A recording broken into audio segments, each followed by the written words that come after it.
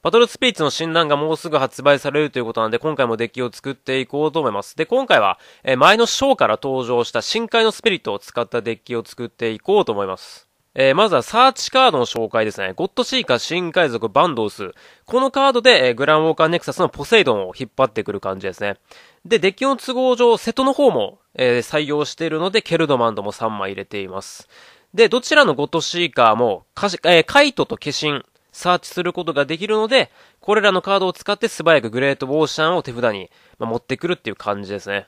で、次はサポートカードの紹介ですね。え新米船長ドルフィリポス。このカードは、え深海のスピリットがアタックした時相手のデッキ1枚破棄という効果を持ってます。で、レベル2から、えこのカードをレベル2にしておけば、え深海スピリット全員最高レベルとして扱うことができます。割と異合のスピリットっていうか、まあ、深海のスピリットって、そのレベルの維持コア、レベル上げの維持コアが結構大変だったりするので、このレベルサポートは結構、まあ、助かる感じですね。で、あとデッキ破棄枚数1枚っていうのがなんか少なすぎだろって思うかもしれないんだけど、もう超単純に考えて、1枚破棄するっていうことは相手のデッキを、あの、なくすのに一旦、えー、早くさせてるわけだから、まあ、バランス的にはちょうどいいのかなって感じですね。割とこの1枚っていうのが、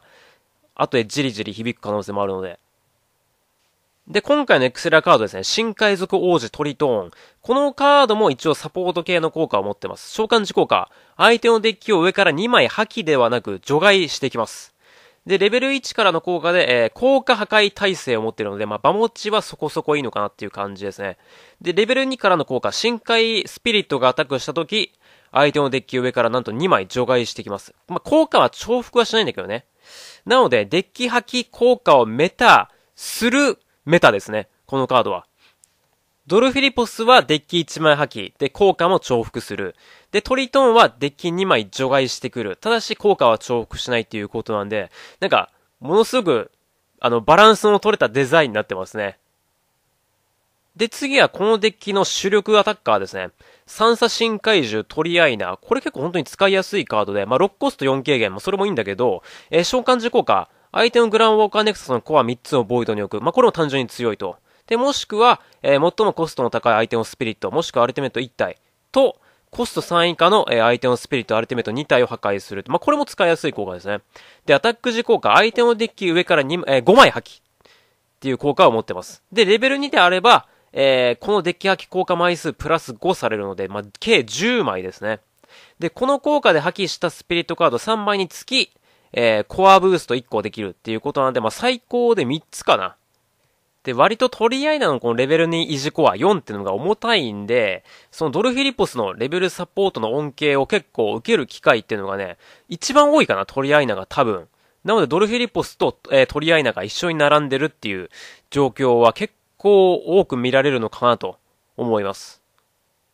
で、続いてのこのカードも主力級ですね。え、深海獣王、グレートオーシャン。これも結構強いカードで、えまずはレベル1からのアタック時効果解放3ですね。相手のトラッシュにあるカードを全部除外します。で、その後、え自分の青のグランウォーカーネクサスのコア3つをこのスピリットに置くと。そうすることでこのターンの間、えー、異合寄進を持つ、え、自分のスピリットのデッキ破棄効果っていうのを、デッキ除外効果に変えてしまいます。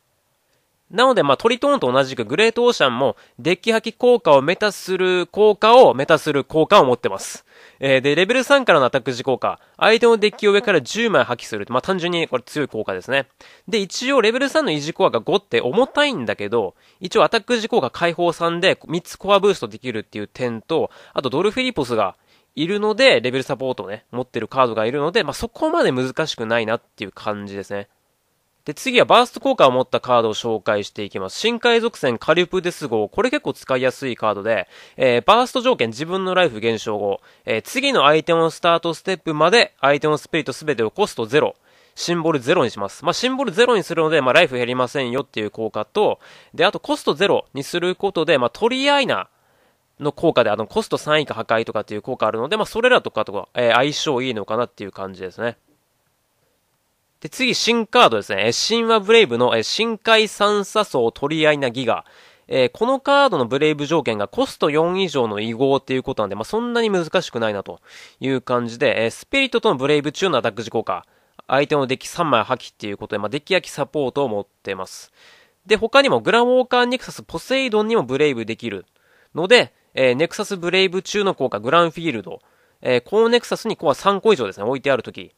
異合スピリットがアタックしたとき、えー、1個はブーストできますよっていう感じですね。異合のも、異合を持つ自分のスピリットに、えー、1個はブーストできますよっていう効果を持っています。なので、まあ、どっちの効果もね、結構便利なので、割ともう、あのー、使えるカードなのかなと思って採用しています。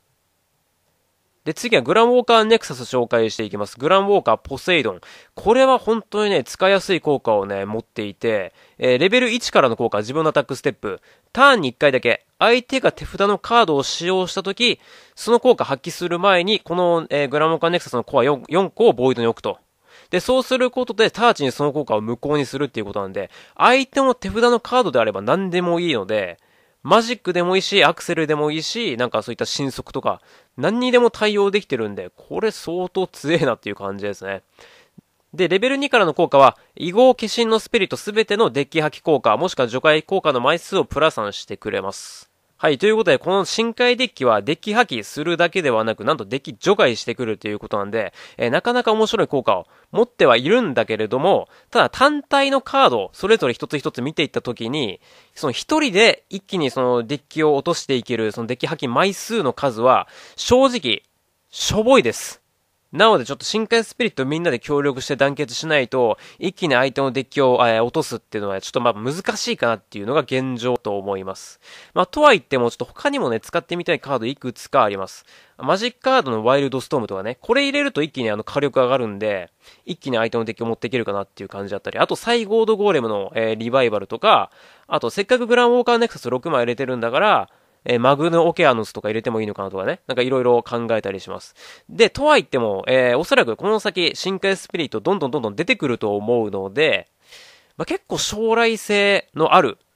デッキなのかなと思ってます。まだまだこんなもんじゃないだろ、深海スピリット、深海デッキ。なので次の段もね、期待して深海スピリット待とうと思います。